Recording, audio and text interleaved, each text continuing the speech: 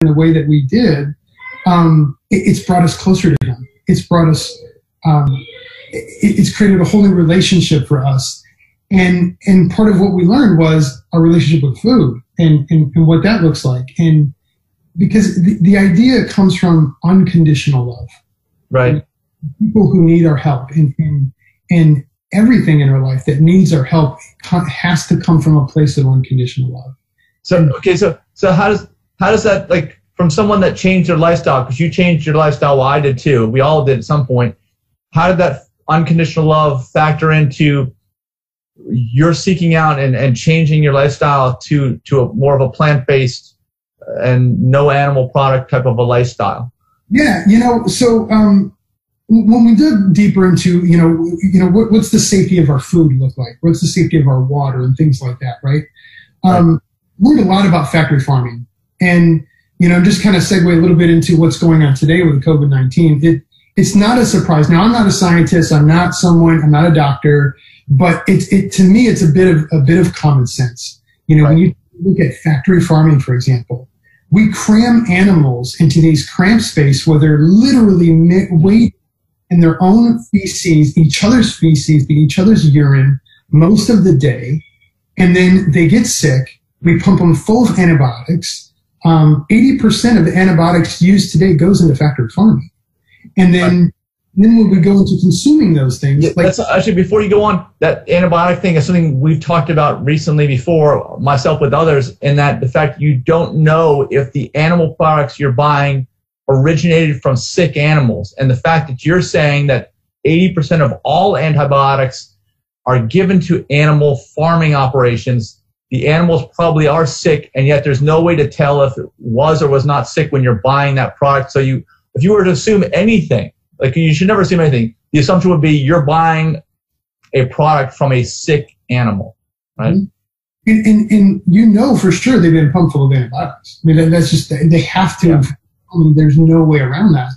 Um, so, so to me, when I started looking into what that looked like, and we, we don't have to get into, you know, chickens, for example, they genetically modify chickens entirely nowadays for, for the breast meat bigger. Right and that causes a litany of, of health issues with the chickens. Um, and, and, I mean, we could go on and on about all that, but but the, the, the basics of it is is that you know when we look at how we treat, you know, Mother Nature will respond to how we treat it, mm-hmm. and and there's no surprise that we've had, uh, uh, and this isn't the only you know uh, uh health related illness we've had from animals. I mean, this is just one. I mean, look at mad cow disease, right? Swine flu. There's the avian flu and I mean, the list goes on and on. Yep. Most go back to animals, and, and, it, and it goes back to the way that we've been treating them. So it, to me, it's just common sense that, you know, we can't treat our planet and, and, and, and other living beings like this. You can't create them to make them to suffer and then make them sit in these unsanitary conditions for so long and then expect us to just come out clean and healthy. I just don't, I can't see that as being clean. Right. It's a, it's a disconnect for sure. Yeah. Yeah. So, so that was a big factor for you. Yeah, it was. You know, so that like when I started really embracing, because because I got to tell you, there's there's some serious power in the in the idea of unconditional love. You know, like I said before, when when when we stop trying to figure out our son Jackson and figure out how to fix him and embrace the love, I, I mean, everything completely changed. I mean, he started talking more. You know, because he, he's nonverbal and he has social and sensory challenges. Mm-hmm. He started engaging with us more. Um, yeah when I came to the doors, he would run up to me versus when I, before it was as if I wasn't even home. You know, I, just, it's a whole different relationship we built just on unconditional love. And when I saw the power of that, it, it, I felt, I found it important to say, well, how can I apply this to things that I've learned in this journey of trying to figure things out? Mm-hmm. And, and, that just makes perfect sense. Like, why won't we just move to a plant-based diet? And, and, you know, and, and then you look at, I mean, there's a great documentary that, that you showed in the festivals, uh, um, The Game Changers. Yeah. I mean, premier athletes, champion athletes are are using plant-based diets and and becoming champions. So the, the argument that you don't get enough protein or you don't get enough, you get plenty. I mean, I'm a highly active person. I work out every day, six, seven days a week. Um, I eat only plants, mostly whole food plants, and I feel amazing. I feel more clear of mind. I've got more, I'm 42 years old and I've got more endurance than when I was 18. Yeah. You know, so uh, it just to me it's just crazy to say that you can't do it. In fact, it's use a lot less resources. These factory farms, and that's another thing too. You know, you look at all the resources these factory farms use. Um, you know, the amount of water and food it takes to feed a cow or a pig or, or a, a lot of chickens is many more times than what it, you need for to feed people. It's not efficient. That's correct. It's not efficient at all. Yeah. Um, but we've allowed these industries to kind of take over um, mm-hmm. our thought process about what the marketing and lobbying, and and it becomes culture, which has been, I think, for many of us. Many of us had to transition to a whole food plant based diet, where honestly, it, it should have just been given to us from from day one. But they've kind of taken over, and it's it's important for those of us who have gotten to that space to help other people understand who want to listen, because um, you only have people that really want to listen.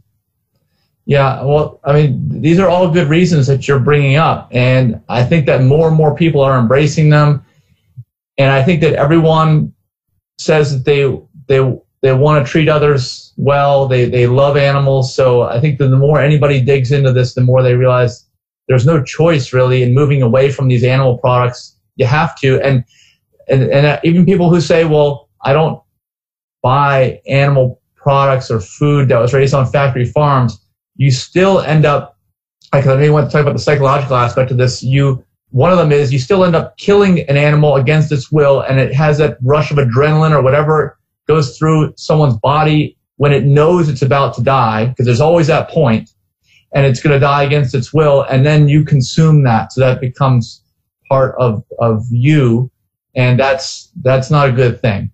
Yeah. It's funny you say that. You know, there's there's people that will argue that well, they can kill him in humane ways. Okay, well, let, you know, turn put the shoe in the other foot though. You know, like what's a humane way for you to die? You know, or or a loved one. You know, what's the most humane way for your loved one to die for someone else to survive? And I don't know a single person who will say, well, this is the humane way to do it because there isn't. You know, yeah, why for someone else to live and when that's not a necessary action to take when you can go this other route and it's more efficient from a just from a process and procedure standpoint it's more efficient to do plant-based agriculture over uh, you know animal agriculture um, th- there's no argument you know for that and, and not to mention we're, we're, breeding these animals into existence to to suffer and die mm-hmm. you know and another point i just like to bring up briefly is um, the dairy industry people think that dairy is very harmless but what people don't understand is these cows are forcibly impregnated. So you're right. raping a cow to to impregnate them, um, and then their calves are ripped away from them um, at birth. Now uh, to keep them, you know, and, and, if you've ever seen a pregnant woman, right? You know, they kind of have that. Usually have that little bit of a waddle. You know, I remember my wife with my two kids had a bit of a waddle. yeah. It was highly uncomfortable for her. You know, um, yeah. because more than anything, it is highly uncomfortable at that stage. Um, these cows are are made are forced to live that way their entire life, and a cow yeah. can only live for about six years until they have to kill it for its meat. A cow can normally live twenty plus years. Um, so that that's that's one.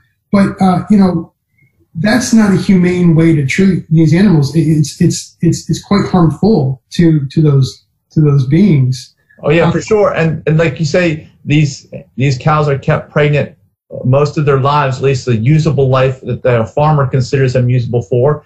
And then when that baby is removed, they know it. They know that that baby was taken from them. They kept that baby in their body, just like any other mother for would keep a baby for months on end, but know something happened, and they they never get over that.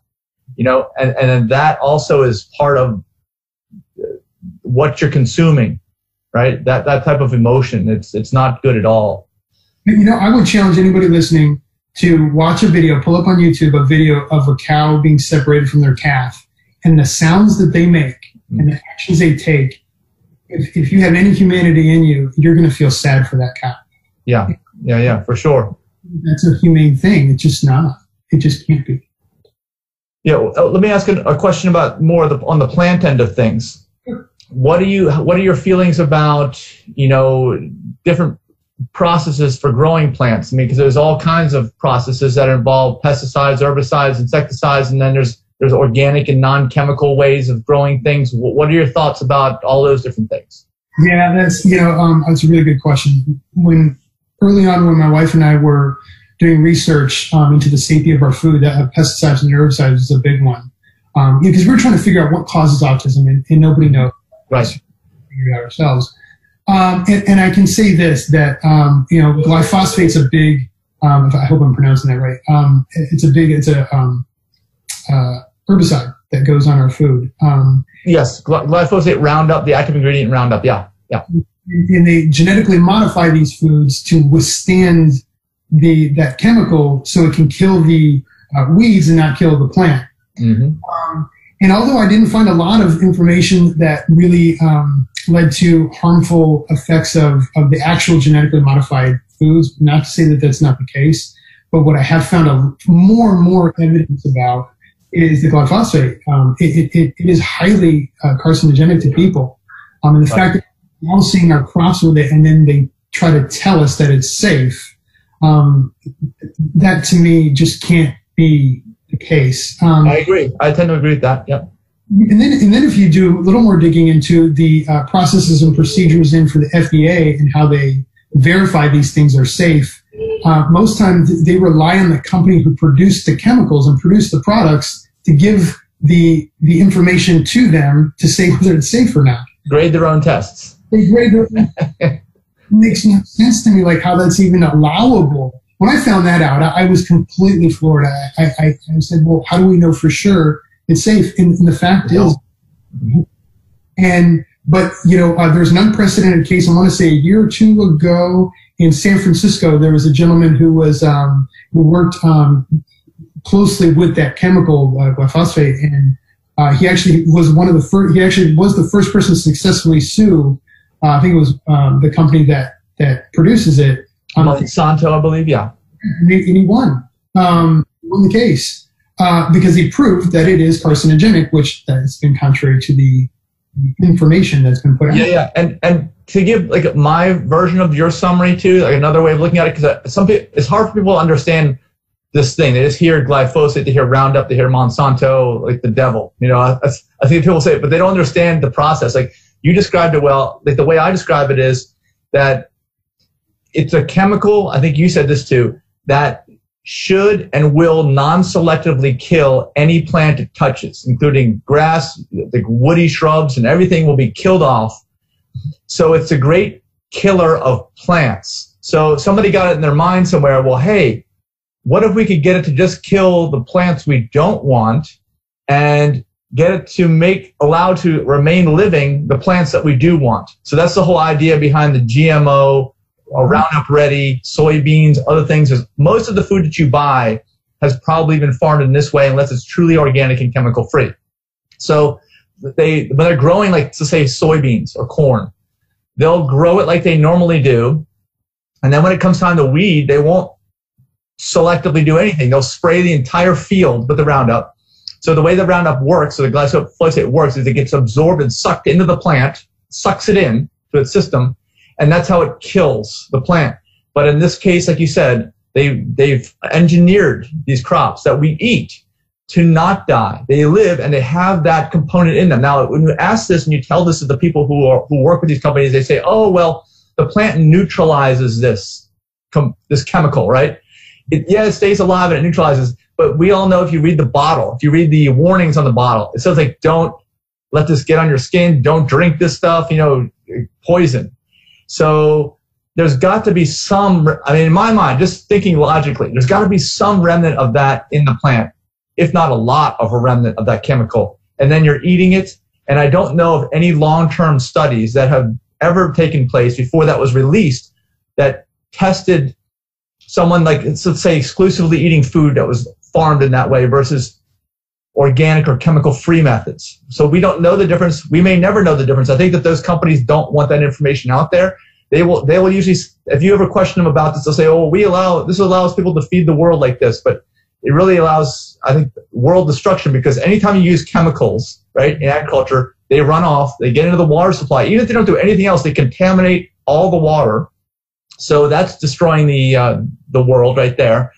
And, um, so I, and also, so you guys are aware, this stuff originated, correct me if I'm wrong, Chad, but I think it was the early 90s is when this stuff started hitting the market, right? So anything grown before the early 90s never came in contact with that chemical. So if you've seen stuff that's spiked up since the early 90s, it may have some kind of relation to this Roundup glyphosate chemical, right? Absolutely, absolutely. I think it was like 95 or 96 is when they. Oh, mid 90s, okay. One of the first things they started uh, giving it to was um, they were doing it on, on cotton, and they were giving the cotton seeds to, to cows for uh, that they were spraying the stuff with and, and doing the GMO uh, cotton seeds with. And they started feeding the cows that we eat.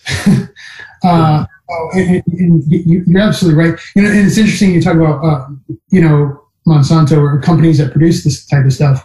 You know, the thing to think about is trust.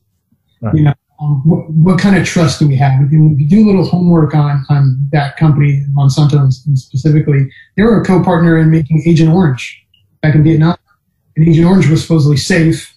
Um, and then all these veterans were dying from Agent Orange poison. So, I mean, and, you know, so it, it's about trust for me. And, and when you do the homework, there's, there's a big question for a big, huge question mark when it comes to that. So I would just be cautious. And they've changed the name. I believe they're now Bayer Chemical or something like that. They, because they, they're moving away from that name because of the trust issue that you bring up.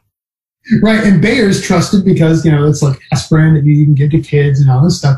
I thought that was an interesting merger when that happened. I said, hmm, that, there's a little bit something fishy there, and that makes sense that they would try to do that. Yes. Uh, and, and, they've been around for over 100 years. A lot of people don't know that too. They, um, Monsanto's been around for, for, I think, since 1912 or something like that. Something okay. Like that. I, also want to mention something else that I am skeptical of or, or curious about, and that is the um, gluten-free foods and the whole gluten-free movement. There are some people out there that do believe that yes, I mean, yes, there is celiac disease. We know that, okay? And people who have celiac disease need to avoid gluten. There's no question about that. Uh, we, I don't know if we're really going to get into that in this video, but for people who don't have celiac disease, which is most everybody, people are still going gluten free, saying, "Oh, I feel better. I, I have gluten sensitivity," which which is a real thing, right? People are sensitive to it, but the question is why. And I think that some of the evidence that's out there says that it may be because it's